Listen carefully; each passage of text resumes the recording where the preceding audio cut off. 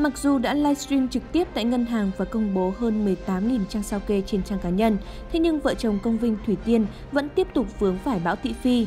Cụ thể, giữa lúc loạt lùm xùm của hai vợ chồng nổi tiếng chưa lắng xuống thì mới đây, mạng xã hội lại tiếp tục lan truyền đoạn tin nhắn được cho là tiết lộ thông tin về căn biệt thự mà vợ chồng nữ ca sĩ đang xây dựng.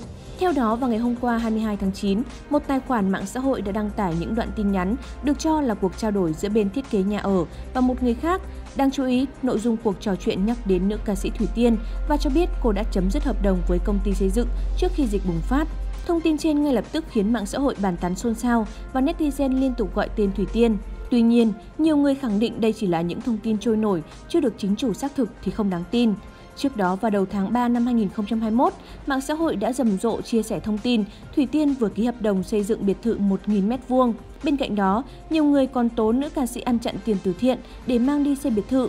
Đến tháng 6 năm 2021, cộng đồng mạng tiếp tục lan truyền những bằng chứng cho rằng Thủy Tiên đã đập toàn bộ căn nhà đang ở để xây mới chứ không phải sửa chữa như nữ ca sĩ thông báo. Trước những thông tin trên, bà xã Công Vinh đã lên tiếng về sự việc này và cho biết ban đầu cô có ý định sửa nhà. Tuy nhiên, trong lúc thợ khoan tới gia cố móng thì tường sập, suýt ghế chết người. Bên cạnh đó, Thủy Tiên cũng cho biết căn nhà mới chỉ có giá 3,2 tỷ đồng, chứ không phải lên đến 80 tỷ đồng như những lời đồn đoán.